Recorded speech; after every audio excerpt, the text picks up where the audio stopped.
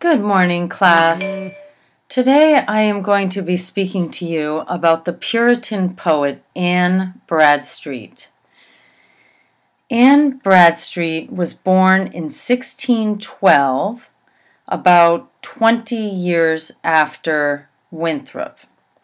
But she was from the same era and family background as John Winthrop and in fact, it's interesting to note that she sailed on the Arbella from England to New England with John Winthrop, who was the captain and the governor for the Massachusetts Bay Colony. Winthrop, uh, excuse me, Anne Bradstreet's father, the deputy governor Dudley, was also a future governor of the Massachusetts Bay Colony, and her husband, Simon Bradstreet, was also a significant Puritan Protestant leader. I use the word Protestant now so that you understand that the Puritans, in their purifying of the Church of England or the Catholic Church, were protesting the Catholic Church. And the Puritans' legacy today is the Protestant religion. So the two are, in fact, synonymous. Puritans were Protestants. So, Anne Bradstreet grew up in Lincoln, England, which was the second largest town in England at the time. She received a superior education and married a graduate of Cambridge University when she was 16. So her husband, as I mentioned, was a man by the name of Simon Bradstreet who went to Cambridge after Winthrop but they were all part of the same socioeconomic class and background. Bradstreet's husband was appointed to help set up the Massachusetts Bay Colony with Winthrop, and they all sailed together on the Arbella. Anne Bradstreet had eight children with Simon and was a devoted wife and mother. She was a loyal Puritan, and her poetry reflects the concerns she had for her husband and her children in the new world, which was rife with hardship whether that hardship came in the form of the weather, confrontations with the Native Americans, the need for establishing houses, or the search and procurement of food.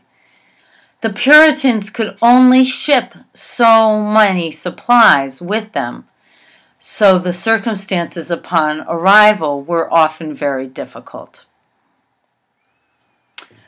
Bradstreet was a very ambitious poet, and she wrote every day.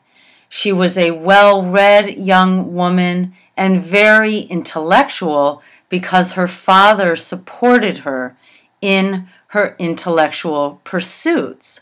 She was reportedly her father's favorite child, and he spent many hours with her when she was young, reading and discussing the Bible.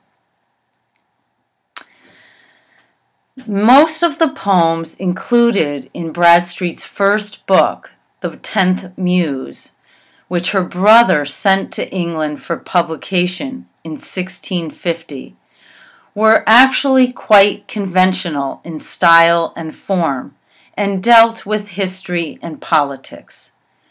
In some poems, she wrote about the uprisings of Puritans in England, and in others, she wrote about the accomplishments of the first Queen Elizabeth. The publishing success of this first book gave her confidence. Even though she refers to the publication and to her displeasure at having it published without her knowledge in one of her most famous poems, the author to her book. You should all be sure to read Anne Bradstreet's poem, The Author to Her Book, which is a metaphoric discourse on Bradstreet writing about her book of poetry as a child of horrors, and she refers to it as her offspring. But she is, in fact, referring to her book of poetry.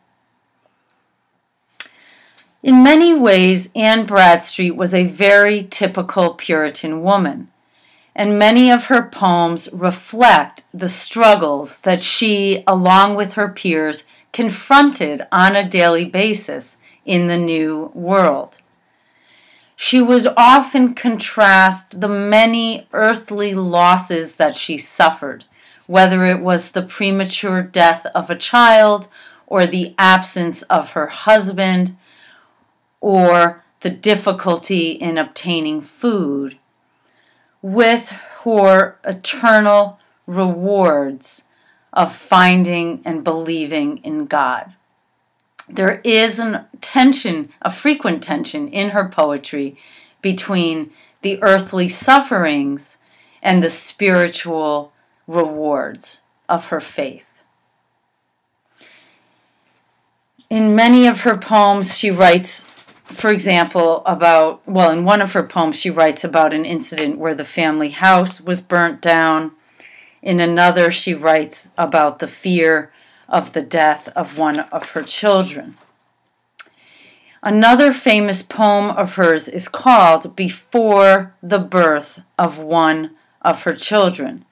This one begins with the line All things within this fading world hath end. And I would like you all to read this poem as it is a very honest meditation on her sadness about the knowledge that life will end for her at some point and for each of her children. It is a bittersweet poem. In other poetry, she writes directly about the relationship that she had with her husband. It was a loving and long marriage and she openly discusses feelings of love and desire, which was rather original in its day.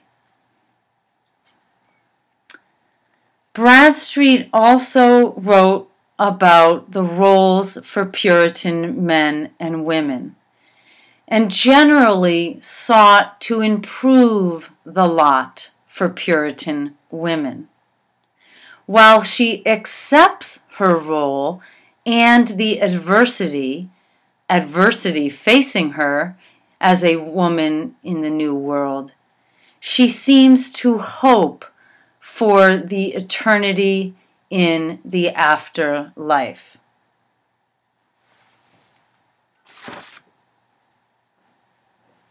so her poems include both concerns for her family and her children, but also the pleasure that she took in her everyday life. On occasion, she seeks the respite that she will hope to find in the afterlife. Bradstreet has gone down in history as the first major American woman poet.